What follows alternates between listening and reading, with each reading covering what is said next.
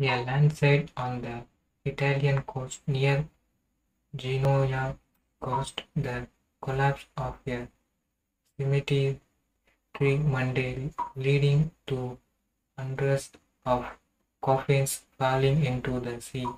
The Camol Camogli Cemetery, built more than 100 years ago, is situated among an area of rocky seaside cliffs. Francisco Olivari, the mayor of Camogli, called the collapse an unimaginable catastrophe. It is estimated that 200 coffins had fallen, but only 10 have been recovered according to Giacomo Giampedrone, regional assessor of civil protection. Recovering of rest of them will depend on the sea in the coming days, he added.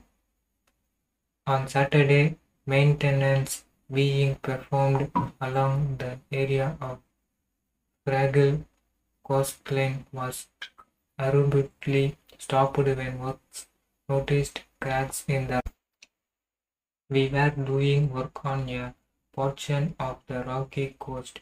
It was close to the area that fell today, Olivari told on Monday. Some signs of fissures were seen. We decided to close the cemetery.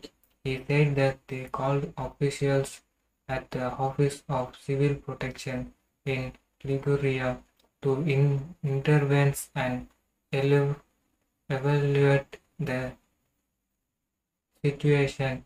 A team of geologists with the department is using drones to get a better sense of the damage and determine if there is danger of another landslide. This type of collapse that happened today is very hard to detect or to predict. Olivari said this area is subject to this type of collapse It's very frag fragile. Giampedrone said the port authority of Genoa blocked the coastal area below the cemetery Monday night to keep the coffins from floating out of sea.